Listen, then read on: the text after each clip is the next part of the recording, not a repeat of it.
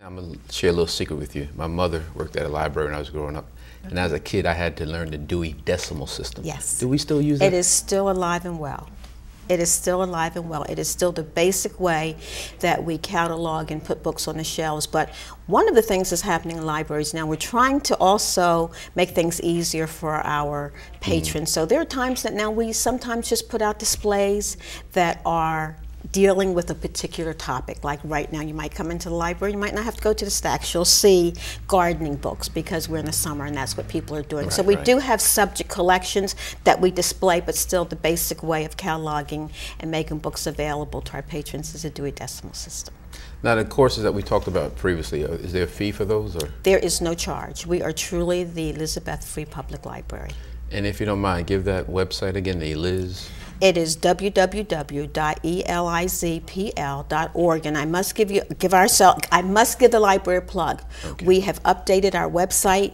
Please go to that website, and you will find links to information, mm -hmm. and you will find information about what's happening in the building. Everything that I've spoken about today, I guarantee you can get more in-depth information on our website.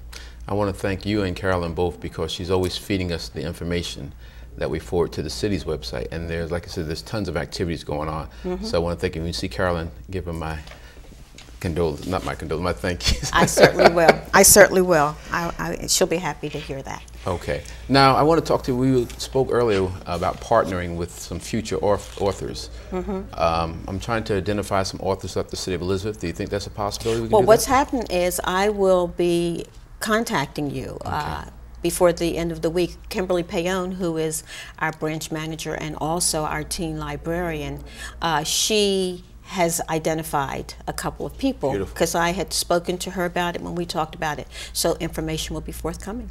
Okay. Okay. And at the public library, does the, the, main library, does the hours change for the summer versus the fall? Our spring? hours are the same, uh, 365 days a year, at least the days we're open. The main library open from 9 a.m. Mm -hmm. to mm-hmm. 9 p.m. Monday through Friday and 9 a.m. to 5 p.m.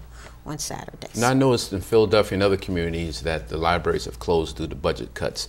How does Governor Christie's proposed budget cuts affect our libraries? It's it's really uh, it's really devastating mm -hmm. if it goes through the way uh, he's proposing it.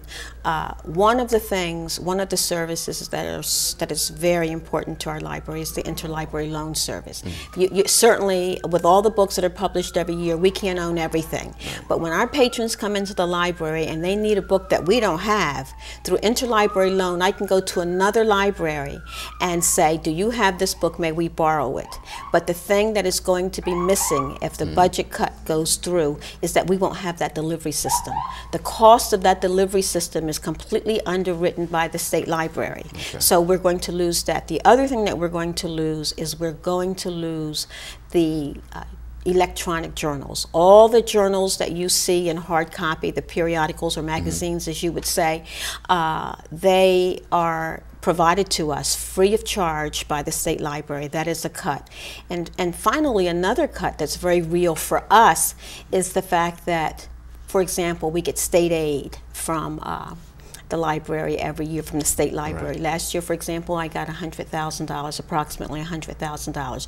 This year, I will get 50% of that. Okay. So we are being affected in a very real way. But I must say to you that the Union County uh, free, chosen freeholders, they've always been big supporters of the library. Right. They've written a letter to Governor Christie imploring him that it is important that he rescinds the deep cuts that we've had to uh, to take as libraries. All right. Well, thank you for sharing all this fab fabulous information. Can I just say one other thing? Save NewJerseyLibraries.org. You our patrons out there can make a difference. Go to that website. They'll tell you what you can do to save our libraries, and the link is also on our website. Thank you. And thank you for tuning in for this segment of Our City. Have a great week. Thank you. I went too long.